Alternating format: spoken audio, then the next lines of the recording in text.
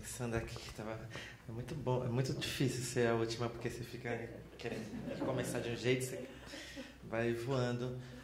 Mas vamos lá. É, queria saber quantas pessoas aqui são do PSOL, são filiadas ao partido. Levanta a mão, por favor. A maioria, né?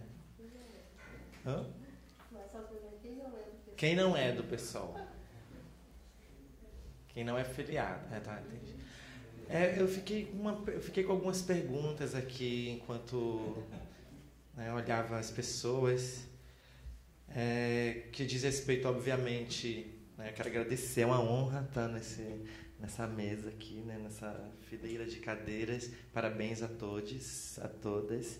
Né, independente do concurso eleitoral, nossos passos são outros, vêm de longe são outros. Então, o concurso eleitoral não significa a coroação, nem significa absolutamente nada do que é a história e articulação política do povo preto. Então, estamos juntas. É, mas uma coisa que me veio à cabeça, eu fiquei pensando, é, porque acho que a gente não está aqui, obviamente, numa sala de etiqueta, né, como diz minha amiga Talma de Freitas. É, estamos aqui discutindo política e eu queria, me sinto muito contemplada pela fala de todas, então acho que não tem muito que acrescentar, porque todo mundo está muito ciente e consciente, né? Temos bibliografias e literaturas diversas em prosa dizendo o que significa a luta preta, ainda mais dentro desse território. Então eu queria fazer um convite à reflexão interna dentro das nossas estruturas, porque a gente está falando aqui de sociedade, estamos falando aqui de parlamento, estamos falando de mundo, mas esquecemos de olhar nossas casas. E eu acho que é desses lugares né, como é, vem a instituição primeira é a família, um partido é uma família. Né? Então, acho que vale muito a pena a gente se convidar constantemente para fazer profundos exercícios de reflexão sobre isso que está sendo discutido aqui, projetando fora, mas como é que acontece aqui dentro, como acontece dentro. Eu não estou falando do pessoal especificamente, eu estou falando das nossas organizações políticas porque o que temos agora como exemplo desse resultado eleitoral significa sim um desgaste e alguma falência dentro dessa estrutura construída historicamente a partir da lógica da branquitude que construiu absolutamente tudo, inclusive essa institucionalidade. Então, a pergunta né, que quero lançar a nós é, por exemplo, entre inúmeras, é, será que se tivesse outras parlamentares aqui brancas ou com outros nomes, como é que estaria essa sala? Caberiam de pessoas aqui para ouvir a discussão é, do que significa a política universal? Porque nós, ao que parece, nós somos políticas, mas de um recorte. Né? Os políticos genéricos universais não estão por aqui para ouvir o que as políticas do recorte. Só que não entendem que quando a gente está falando de democracia, a gente fala que a democracia nunca existiu, é que nós não somos um recorte. Isso daqui é um fundamento. É? A gente já está muito bem sabida para entender que se as coisas não andam muito bem nesse país, é porque atinge, né? porque as coisas não funcionam para algumas pessoas. Não é, não é a saúde que não funciona, não é a educação, não é a segurança pública, não é isso que não funciona. Isso não funciona porque atende gente preta que foi empobrecida. Ponto. Não tem aspas, parênteses e etc. Então, onde estão as pessoas que se dizem pensar nas, na, na, na reanunciação ou no processo de transformação de nação que não estão para ouvir as pessoas pretas, que foram, inclusive, legitimamente eleitas? Onde estão? E aí retoma algo que já era muito previsto que já é muito previsto dentro dessa reflexão, que é o seguinte: é, existe um, uma, uma apatia, uma negligência, uma invisibilização, um apagamento das articulações políticas do povo preto. Porque só se entende política a partir do que a branquitude construiu como política. Não entendem, por exemplo, os terreiros como, como um, um espaço poderosíssimo de resistência e de articulação política onde as mulheres pretas, as primeiras fundadoras dos terreiros, não só construíram a permanência da cultura, como produziam ciência e conhecimento por meio, da espiritualidade. A Irmandade da Boa Morte, por exemplo, que é em Cachoeira, na Bahia, uma grande organização política. Por exemplo, o Quilombo dos Palmares é o nosso único governo ilegítimo, legítimo governo do povo preto, é o governo do Paulo, é o Quilombo dos Palmares. Assim como Lélia Gonzalez diz que é a única experiência de república democrática desse país. Aonde estão os senhores e senhoras da política branca que não estão para ouvir o povo preto que a duras penas estão nesse lugar agora, porque eu não sei se efetivamente eu gostaria, eu queria estar aqui, mas eu entendo a urgência disso, porque eu sei que só quem vai fazer o que precisamos fazer somos nós. Nós tentamos durante muito tempo abrir mão disso, né? Mas é, não é possível. Então, é, eu quero que essa reflexão ela se torne uma reflexão é, é, e que movimente uma prática interna. Assim, a gente tem que refletir porque neste último, por exemplo, neste último pleito, tivemos sim muitas celeumas. Estava lá escrito no Estadão, aquela mídia que todo mundo fala que não gosta, que é de direita, que é golpista, mas estava lá na cara do Estadão, os partidos é, investiram 216% a mais em deputados brancos do que pretos. Isso é bonito para nossas organizações progressistas? Não é legal, né, gente? Assim, que exemplo é esse que estamos dando, né, falando em nome da liberdade, da democracia, da multiplicidade, se a gente não consegue se haver internamente com isso? Porque quando a gente pensa em reparação, quando a gente pensa em cotas, né, em políticas de reparação, estamos falando exatamente disso, de direcionarmos nossa energia, nossa força política para investir nesses projetos que estão comprometidos com a desconstrução das violências estruturais. E, obviamente, quem está nessa ponta é o povo preto.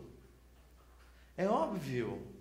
A gente não precisa de mais teorias para entender isso. A gente sabe a cara da pobreza nesse país. A gente sabe muito bem a cara da pobreza do país. Mas, mas a gente também, ao mesmo tempo, sabe a cara de quem está na USP. A gente sabe a cara de quem está na PUC, na FAP, Belas Artes, Casper Libero. A gente sabe a cara de todo mundo. Sabe? Aí fica essa coisa, hashtag Marielle presente, fora Temer, fora vocês, né? Fora todo mundo, né? Porque se estamos falando de um sistema de opressão no qual é praticado e retroalimentado pelas mesmas pessoas que é, involuntariamente e compulsoriamente, compulsoriamente reproduzem os parâmetros de opressão e de visibilização de certos povos, então fora todo mundo. Né? Hashtag Marielle presente quando o sangue da nossa irmã já escorreu. Estamos falando de antes do sangue. Nós não estamos negociando vidas mais. Nunca negociamos, na verdade. Sueli Carneiro, nossa outra grande mestra, fala que nossa humanidade é inegociável. E é deste ponto que temos que partir para entender, respeitar as articulações do povo preto. É respeito e assim é um diálogo entre pessoas organizadas e, civilizadas que se olham nos olhos e não nos olham como destinatárias de políticas públicas, mas sim como escreventes delas. Não nos olham porque essa história ela só pode ser escrita, reescrita se ela for em primeira pessoa. E se não houver nossa participação, é impossível, é impossível que essa história se reescreva. Haja visto o, o cataclisma com a eleição desse coiso. O coiso é mais do que natural ter sido eleito. É mais do que natural. É natural, não assusta. Sabe por que não me assusta? Porque eu vivi constantemente, nesse decorrer da vida, uma série de, de, de, de apagamentos e de, é, de necessidade de negociar meu pertencimento. Eu não era negra. Estava em África, de boa. Aqui, América Indígena, todo mundo de boa, ninguém ficava, tu é preta, tu é negra. Não, né? Disseram que a gente era negra.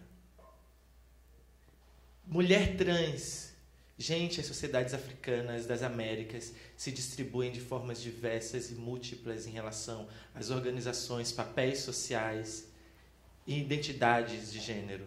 Os, tem estudos recentes dos povos indígenas da América do Norte, oito gêneros catalogados, o panteão africano, os orixás se atravessam em afetividades diversas. O Xumeré, metade do ano é homem, metade mulher. Quem me disse trans não fui eu. Nordestina só descobri quando cheguei aqui. Antes eu não sabia. Mas o fato, o fato é que eu fui constantemente impelida a negociar o meu pertencimento. Este é o fato. Fui constantemente impelida, obrigada a negociar meu pertencimento. Enquanto outras pessoas não. E essas pessoas que estão mesmo se dividindo entre do campo progressista e não progressistas, nos enxergam mais ou menos do mesmo jeito, de modo a naturalizar estes meus apagamentos, ou estes lugares discursivos que me colocaram, negra, trans e nordestina. Naturalizaram isso e naturalizaram a ausência de corpos como esses nos espaços de decisão. Naturalizaram a ausência dos corpos pretos nas universidades, na, na, nos escritórios, no, nas fundações, dentro dos partidos, dizendo coisas. Né? Naturalizaram as nossas ausências. E isso deu espaço para a construção de um outro imaginário que está exatamente é, é, é, é materializado nessa coisa que foi eleito. Exatamente isso.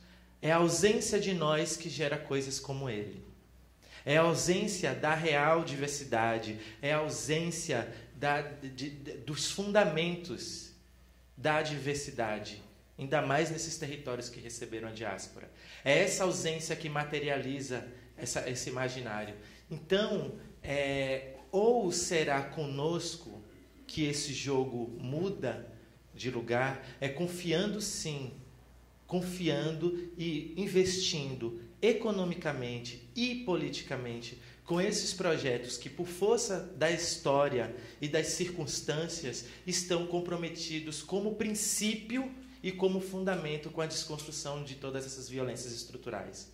Porque simplesmente estamos na base, porque simplesmente a luta negra é uma luta que fala sobre si, sim, mas é para a emancipação coletiva. É disso que estamos falando.